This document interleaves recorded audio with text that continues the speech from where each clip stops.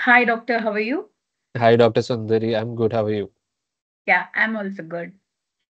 So, uh, we are here to talk about the circular from the National Board, which talks about uh, the change of exam pattern.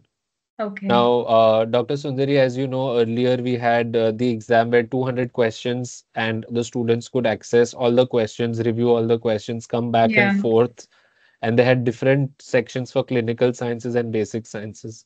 So, how But is the uh, new pattern now? Like, do you have any information about it? Yes, uh, there is limited information, but it's enough for us to know that there is going to be a very significant difference. Uh, the Mm, circular says that this pattern is going to affect all the exams. So, Okay. uh, NEET PG, that's for MBBS, MS, MD programs, for INI-CET, MDS. So, uh, we we have like five sections now. All 200 questions will be divided into five sections. So that's 40 questions per section and a total of three and a half hours. Okay. So Previously, it was three hours, and now it's three and a half hours. previously it was three hours, that's correct. Yeah. And now we have 42 minutes per section, which is adding Oh, up to three and a half hours. But there's still, uh, you know, it could, it, says that this is the possible uh, outline. We are still waiting for more confirmation, but I would like to think that this would be how it is. Uh, you took INI CET uh, exam Yes. recently. So how Yeah. was that different? And So when I took the last session, uh, uh-huh. the pattern was entirely changed. There were mhm, no uh, like usually in INI CET there'll be 200 questions in three hours. This mhm, time the duration was same, that is three hours, but mhm, the section was divided into four sections. The mhm, same 50 questions of 45 minutes each. That was the pattern. mhm, But surprisingly, I took I took a lot of time to read a question because there's no like categorization of this easy questions, lengthy mhm, question. For me, part A was so difficult and mhm, part part B was like little easier compared to mhm, part A. But the mhm, thing is I could not go back to part A. So I mhm, couldn't manage my time efficiently. So I think this pattern is like a little trickier. Only if you practice the mocks or only if you have enough practice of this, you will be able to manage the time properly. Right. So as far as I know, like even I can, I think uh, NEET MDS can have four sections or five sections. That Yes. information is still not clear, but uh, it it is necessary because earlier when you had access to all 200 questions, you saved time on the shorter Yeah. questions, which you could spend on the difficult, longer questions. But here now you are restrained. So for all the students who are watching this video, the circular, the notice says that if you are uh, starting with section A, that's how you will be. So you start with section A and you will have access only to the section A questions at the first 42 minutes of your time if it is in five sections.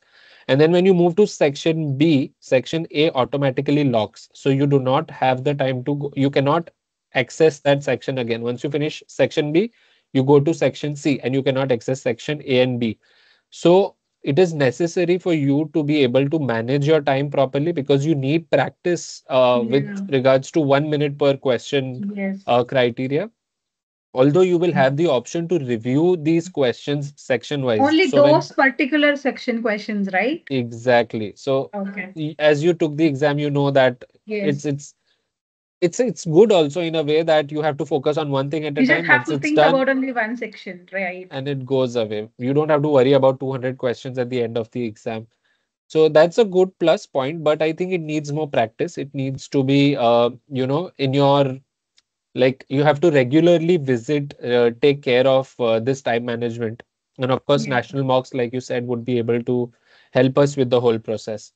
So, Dr. Sundari, another thing I wanted to ask is uh, how is it going to be different for people who've already taken a NEET before? Like they have a different experience. For first timers, I understand they've never had the experience. But do you think it's going to change for people who've taken NEET before?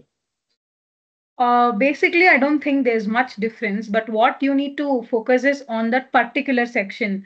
You need to keep practicing the mocks. Why? Because uh, the more you take mocks, you'll be practiced to take in that time, particular time frame, and you will be exposed to lengthy questions here also. And in exams, even if the lengthy questions appear, you don't have to be surprised or shocked about it.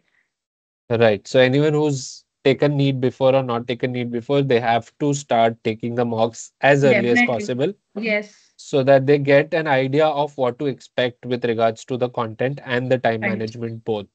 Also, the AI recommendations that we provide to all our Yes. students that is going to help them uh, strategize their preparation for revision that is going to help them understand what exactly are they lacking in their preparation so that going forward from 6 to 8 months now they know uh, what their preparation strategy should be so Yes. for all the students who are uh, appearing for NEET MDS in the coming year, uh, they should start taking mocks as early as possible. We are going to start mocks early this year so that you can have the uh, you know whole uh, practice from the beginning and uh, you can start taking advantage of the AI recommendations. Yeah, I think we can do that so that the students are well versed with this whole new process for the ones who've taken exam before and who are taking fresh this year.